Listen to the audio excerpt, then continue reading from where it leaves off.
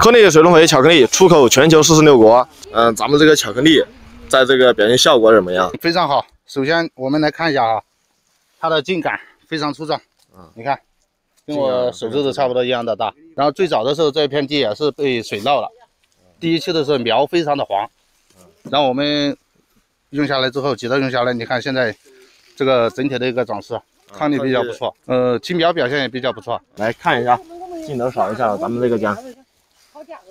版型都是很正的，然后个头啊这些都是比较大啊啊！你像我们这个巧克力哈，因为加了也是个聚谷氨酸嘛，啊保水保肥这一块效果比较好。前期雨水多也可以起到一个抗洪的一个作用。咱们这个牛壮树呢，除了调酸调碱呢，还能可以活化我们这个土壤的团粒子结构啊，就是提高我们这个作物对于营养的一个呃吸收啊。今天过来看，感觉这个姜怎么样？我已经用了，今年今年用了，对啊，感觉效果怎么样？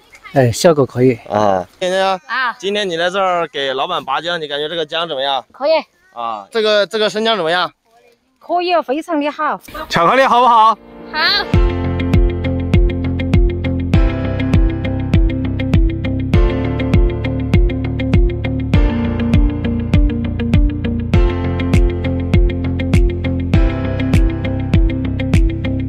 中国的巧克力，世界的 COCO 力。